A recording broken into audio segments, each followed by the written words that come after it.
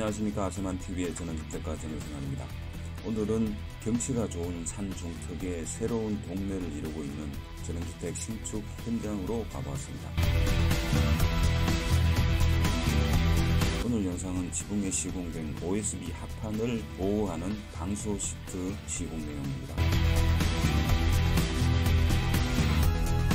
집을 짓는 데 있어 어느 공정 하나 중요하지 않은 것이 없습니다. 자동차처럼 수십만 개의 부속들이 들어가게 되는데 어느 것 하나 부실하게 되면 차에 이상이 생기듯이 집 또한 다를 바가 없다고 생각합니다. 경량 목조주택의 주요 구조체를 이루고 있는 구조재는 구조용 목재와 구조용 합판으로 나눠집니다. 구조용 목재에 대한 부분은 골조공사 시에 다시 정확하게 다루도록 하겠습니다. 골조공사가 끝나고 나면 내벽과 외벽, 지붕의 구조목들을 잡아주는 역할을 하면서 마감 작업을 용이하도록 하는 자재가 OSB 구조용 합판입니다.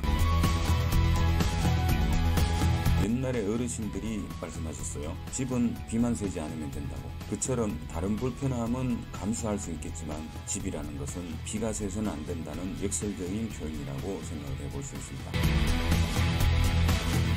방수 시트에도 종류가 많습니다.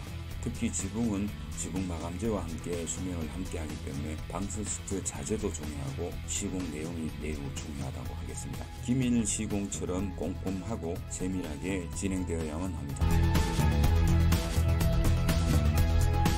방수 시트 시공이 완료될 시점에 현장 책임자인 팀장님이나 소장님이 반드시 시공 내용을 체크를 해야 하는 중요 공정 중의 하나입니다.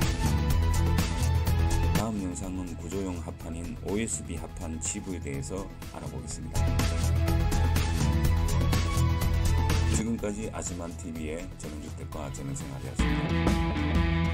오늘 영상이 도움되셨다면 구독과 알람을 설정해 주시고 좋아요와 댓글로 응원을 해주시면 무척이나 고맙겠습니다. 감사합니다.